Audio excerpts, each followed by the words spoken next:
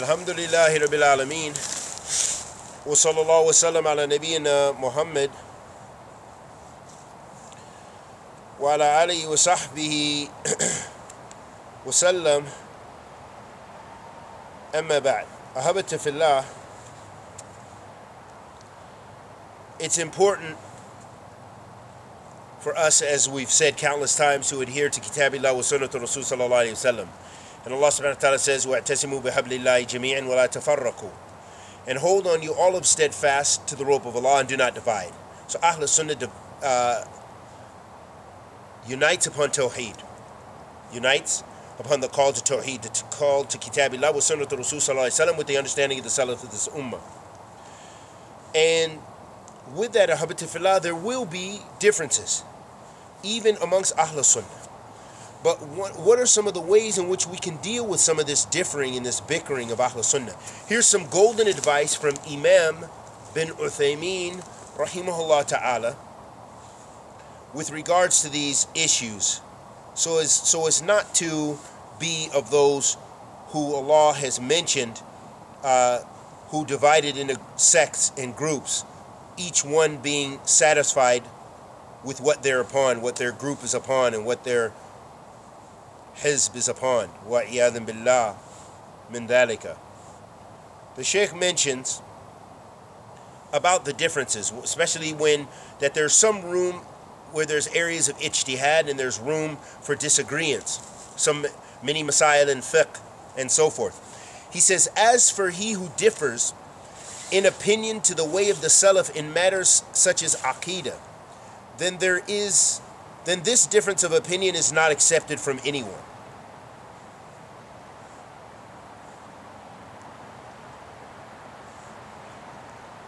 However, in other matters in which there is a scope for opinions, then it is not befitting to undertake a verbal attack against those who differ in opinion, nor take this as an opportunity to breed hostility and hatred. The companions, radiallahu ta'ala anhum, used to differ in opinion in many manners, many matters. So those who wish to read about their differences of opinion should refer to those traditions which are available regarding them.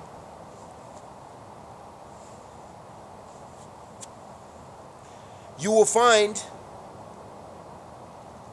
many differences of opinion amongst them.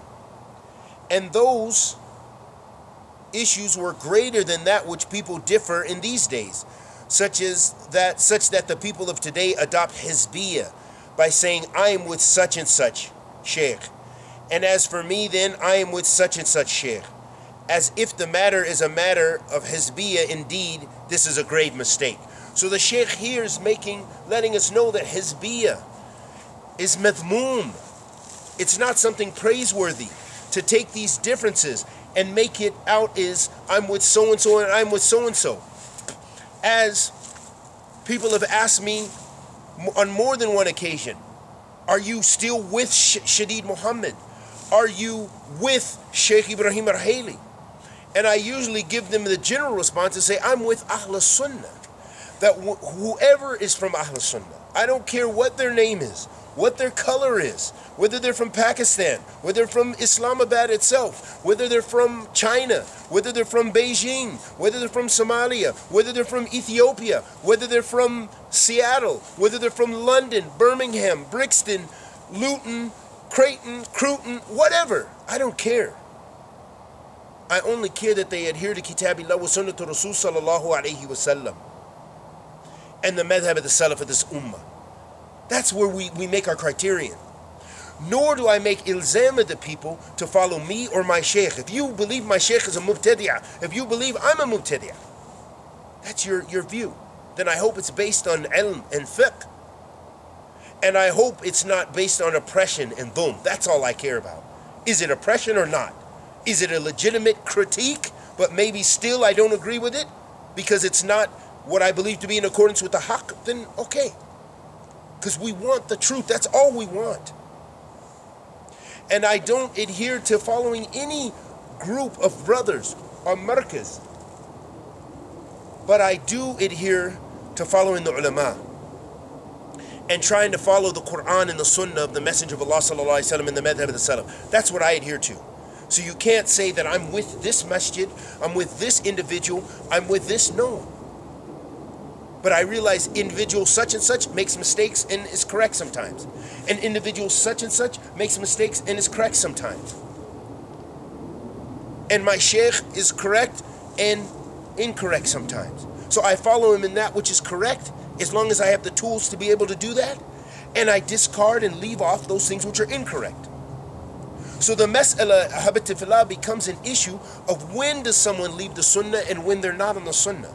That's what's imperative because everyone makes mistakes. I don't care who you follow. I don't care who you blind follow. I don't care who you make ta'assub of, your Sufi sheikh or Salafi sheikh because there are youth and we can't deny this. We can't sit with our hands over our eyes for this many years trying to strive to be on the dawah and say that none of our brothers and sisters are blind followers, even ourselves. There was a time you couldn't tell me anything Sheikh Muqbil did was wrong. You couldn't have said that to me or Sheikh Rabi or Sheikh whoever. We love all of our mashayikh. But as the Prophet ﷺ said, Kul ibn Adam khata wa khayra All the children of Adam make mistakes, and the best of those are those who repent. And Imam Malik said, as we mentioned this statement countless times, كل يصيب ويراد إلا صاحب هذا القبر وكما قال Imam Malik that everyone gets things correct and they can be refuted, except the inhabitant of that grave. We don't even blind follow the Sahaba radiallahu as individuals. I don't say I'm Umari. I don't say I'm Abu Bakri. I don't say that, you know, Abu Bakr in every issue in fiqh he yusib. No, but he was rewarded for everyone. Any ijtihad that he did. Or any ijtihad that Abu Huraira radiallahu anhu had. They're rewarded. But we don't make that an issue of al-wala wal bara. And we don't make that an issue of ta'assub that we're blind following. We follow the Prophet wasallam ittiba' wala ibtida' wa ittiba' wala taqlid. We follow the Prophet wasallam. We adhere to that. But we don't make taqlid to others in as much as we're able to do so. Except for in those masail that we have to. And that's another issue of contention, even between Ahl Sunnah. And Allah knows best, but I believe the correct is, of course, there are times you have to make taqleed because you don't have the tools in many major masail. We go with the ulama. The ulama said this, Sheikh Saleh al-Fawzan said this, I'm with that. I, don't have the tools, I can't go into I don't have the knowledge, I don't have the language, I don't have the... So we, we make taqleed from time to time. Or in many matters, in fact, those issues that are way above our, our level. So ahabati fillah, the issue is when does someone leave the sunnah and when does someone not leave the sunnah? This is really where you find a lot of contention between the Salafiyin in this time. That they differ over individuals. We believe Sheikh so-and-so is off it. What is your position? If you don't agree with them, they make al-wala wal-bara with you. There are people that I know, I don't agree with them and, and the sheikh that they support, that I believe that sheikh is a mubtadi'ah. But I don't believe they're mubtadi'ah for that. Even though, because I know their minhaj is all, we have the same on all major masail, on most of the masail. But it's over this individual. They still support Sheikh so-and-so. They still believe Hajuri is this. They still believe this one. But I don't make al-wala wal-bara on that. Because that's not what I learned from the ulama. Correct me if I'm wrong. But to me, that seems to be exactly what they only warned us against. That we don't make al-wala. It's not a qaida in the religion that you love and hate Hajuri. It's not a qaida in the religion that you love and hate Sheikh Rabi. It's not a qaida in the religion that you love Ahmed Bazmul or you dislike Ahmed Bazmul. It's not a qaida in the religion that you love Sheikh Ibrahim Ruhaili or you hate Sheikh Ibrahim Ruhaili. That if you love him, you're a mubtadi'ah, you're jahil. If you love, if you hate him, then you're a Sunni, you're Salafi. La. The issue's not like that. It's not like that, fillah. So I ask Allah the Almighty to uncover the people's blindness and bless us with and